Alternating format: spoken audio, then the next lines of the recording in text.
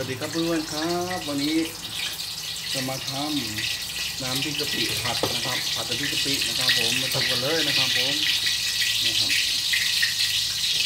ตั้งกระทะน้ำมันให้ร้อนนะครับใส่กระเทียมใส่ลงไปนะครับน้ำพริกกะปิที่เราตำแล้วตำให้แห้งนะครับ เราจะมาผัดอีกทีนึงครับผม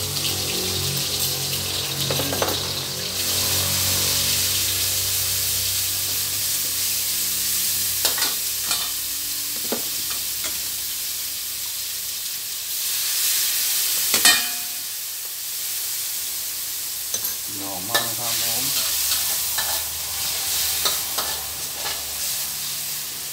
โอ้โห อร่อยแน่นอนนะครับ ใส่พริกไทยเล็กน้อยนะครับผมก็ตัดน้ำตาลใส่เล็กน้อยนะครับ โอ้โห อร่อยแน่นอนครับผมจามขนาดนี้นะครับเหนื่อยแล้ว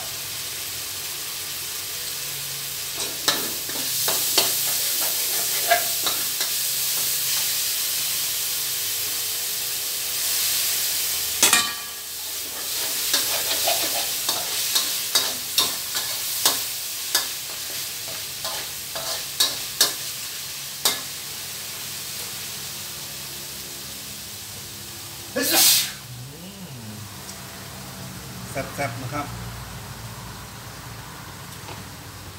อร่อยน่าดูนะครับ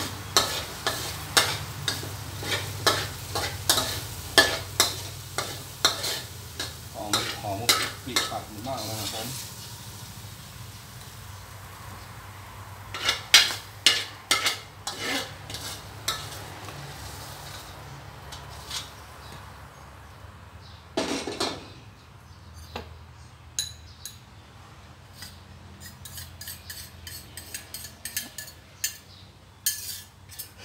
โอ้โห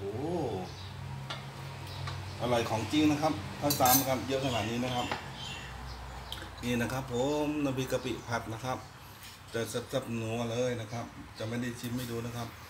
เพื่อนๆคนไหนสนใจก็ลองทำดูนะครับ ผมตำทำน้ำพริกกะปิพอคลุกคลิกนะครับไม่ต้องน้ำเยอะนะครับ แล้วเรามาผัด